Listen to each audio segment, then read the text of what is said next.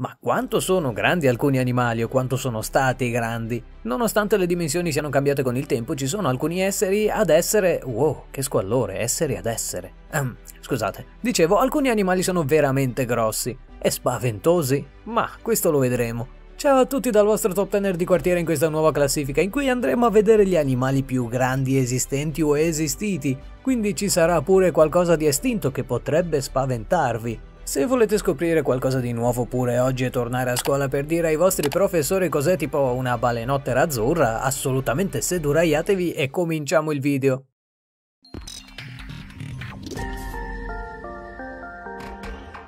Paraceratherium Può sembrare un medicinale dal nome ma non lo è. Parliamo di mammiferi estinti che hanno vissuto nell'Asia centrale circa 20-30 milioni di anni fa.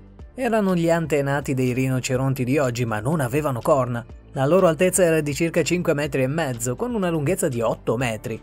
Sul peso ci sono un po' di leggende, ma la cosa più veritiera parla di qualcosa intorno alle 10 tonnellate, quasi 4 volte l'elefante africano. Alcuni addirittura arrivavano a dire pesasse 20 tonnellate. Nonostante fosse il più grosso, non era per niente il più cattivo. Anzi, era un erbivoro, quindi potevate stare tranquilli, più o meno, eh. Non vi avrebbe aggrediti senza motivazioni, ma forse vi avrebbe pestati senza vedervi. Grazie al collo lungo poteva cibarsi di foglie sugli alberi molto alti in stile giraffa. Nonostante non avesse nemici in grado di tenergli testa, si è estinto a causa di fattori naturali, come per esempio il cambio di clima, da un'era all'altra. Insomma, almeno stavolta l'essere umano non c'entra niente con l'estinzione di un animale, dai. Squalo balena. Fermi tutti, il nome sembra far paura, ma non è così spaventoso. Ne avevo fatto un accenno in un video precedente, ma stavolta ne parlerò meglio perché è un cucciolone gigante adorabile. Prima di tutto è il pesce in generale più grande del mondo, ed è più squalo che balena. Queste ultime non rientrano nella classifica dei pesci più grandi perché sono mammiferi.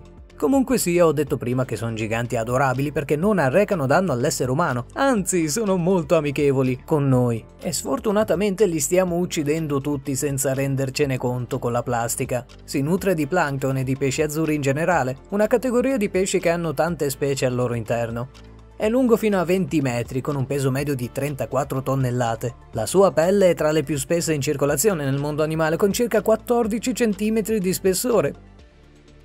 Molti sono i sommozzatori che riescono a farsi foto con questi bestioni e tanti sono anche quelli che desiderano farne. Lidsictis problematicus L'ultima parte di questo nome che non dirò mai più in tutta la mia vita è uguale al modo in cui chiamo spesso la mia ragazza. Spero non mi abbia sentito. Comunque è un genere estinto di pesci.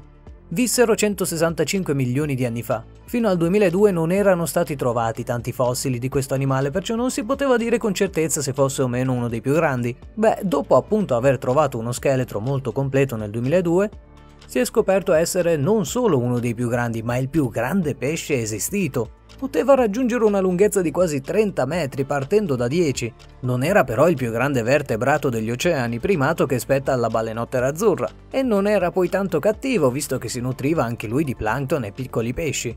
Cavolo, i plankton esistono da tanto tempo solo per essere sempre mangiati, che vita del cavolo! Nonostante le dimensioni, questo pesciolone veniva bullizzato e inseguito da altri super predatori. Cronosaurus se fosse un boss finale di qualche gioco sarebbe tosto da battere. Il Cronosaurus era uno dei più grandi rettili marini predatori del periodo Cretaceo inferiore. I suoi resti fossili sono stati rinvenuti in Australia e in Sud America. Aveva quattro pinne che utilizzava per scattare e catturare velocemente le prede. Erano come propulsori per darsi delle spinte disumane. Quasi nessuno poteva sopravvivere al suo passaggio. Secondo alcune stime dovrebbe essere lungo circa 9 metri, massimo 10, e faceva parte della famiglia dei pliosauri che sono caratterizzati appunto da un aspetto come il suo. Ma non dovete assolutamente pensare ci fosse fratellanza tra di loro. Anzi, il Cronosaurus se li mangiava tutti, non importava di che specie fosse, non era razzista. Ingurgitava qualunque pesce di qualunque dimensione e colore. Poteva essere forse considerato un re dei mari. Titanoboa. Ah, ma quanto adoriamo il Titanoboa, i suoi racconti superano ogni leggenda, trasformandosi a volte in storie da fantasy. Nei videogiochi è pure uno degli animali più spaventosi da affrontare. Sì, esatto, in Ark Survival spesso e volentieri cambiavo zona dove edificare pur di evitare sto coso. È un genere estinto di serpente vissuto in America meridionale circa 60 milioni di anni fa. Secondo i resti ritrovati, hanno affermato i ricercatori potesse anche raggiungere i 15 metri di lunghezza e in alcuni casi superarli, con un peso di una tonnellata o più. Sembra l'habitat in cui vivesse ai tempi, cioè le foreste tropicali dell'America meridionale, fosse ancora più caldo a causa della sua presenza che da sola riusciva a emanare un calore tale da superare due o tre volte quella presente oggi. Era un predatore in grado di tenere testa ai peggiori di allora. In pochi osavano provocarlo. Come saprete nell'età moderna è normale utilizzarlo come mostro nei film o nei cartoni perché sembra fosse spaventoso, proprio come viene descritto. Come cena solitamente optava per i coccodrilli giganti. Una cosa da niente, né? E pausetta quiz. Chi sa dirmi a quale film si riferisce questa sequenza? Risposta alla fine del video? Forse, e andiamo avanti. Tanistrophius. Devo dire che i nomi degli animali di un tempo erano veramente molto fighi. È un rettile estinto appartenente ai protorosauri e conosciuto per essere stato quello con il collo più lungo in proporzione al corpo. Avete notato come le loro fattezze sembrino uscite da un circo? Beh, i suoi resti sono stati ritrovati in Europa, in Medio Oriente e Cina. Poteva raggiungere i 6 metri, di cui 3 metri però erano solo di collo. Possedeva un corpo snello. Non da modella, ma magro per l'epoca, in confronto ad altri dinosauri. Il cranio era corto e piatto, ma con un muso allungato. Erano dei rettili semi-acquatici. Sembra si nutrissero per lo più di pesci piccoli senza attaccare prede troppo grandi. Shonisaurus Lo Shonisaurus fu uno dei più grandi ittiosauri mai vissuti, ma solo a me il nome sembra quasi una parolaccia straniera.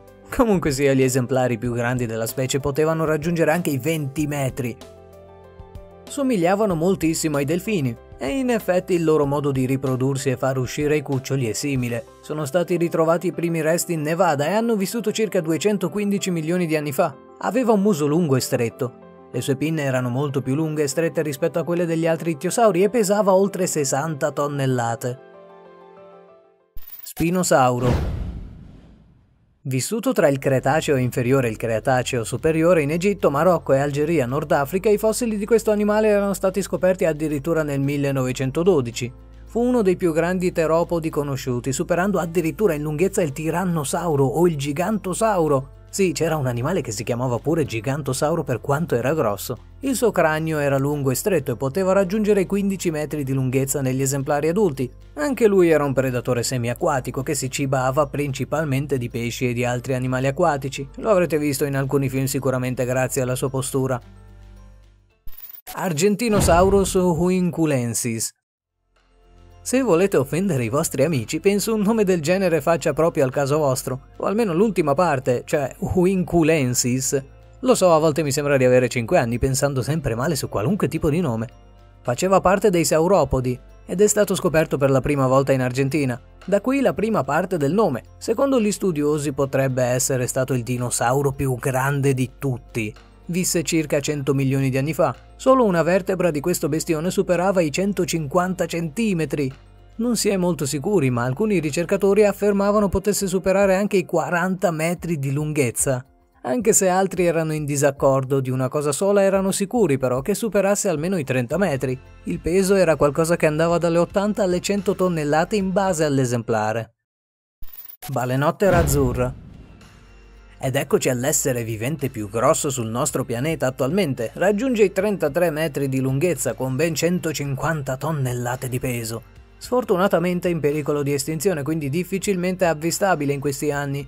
Pensare che fino agli inizi del XX secolo si poteva trovare in quasi tutti gli oceani del mondo. Poi i cacciatori di balene hanno esagerato e siamo arrivati al punto da avere 5.000 massimo 12.000 esemplari. Prima dell'annientamento quasi totale pensate che superavano anche i 300.000 a popolazione, quindi chissà quanti erano in totale nel mondo. Ha un corpo lungo e snello come se l'avessero stirato con un ferro da stiro, si nutre quasi esclusivamente di krill. Una balenottera azzurra adulta può mangiare fino ai 40 milioni di krill al giorno. Ma poveri krill, nessuno pensa a loro. A causa della sua gola non può ingoiare grandi prede e quindi un uomo se inghiottito può rimanere dentro l'enorme bocca ma non finirà mai nello stomaco. Ovviamente non attaccherebbe mai un essere umano. Pecora più grande.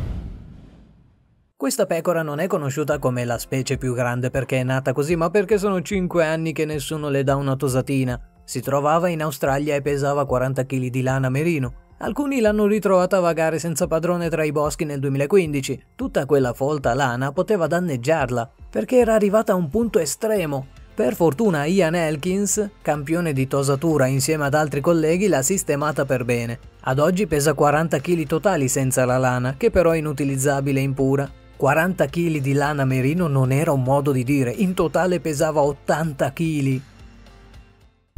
Con questo concludiamo, spero il video vi sia piaciuto, noi ci sentiamo alla prossima gente, stesso posto, stessa voce, orario diversissimo.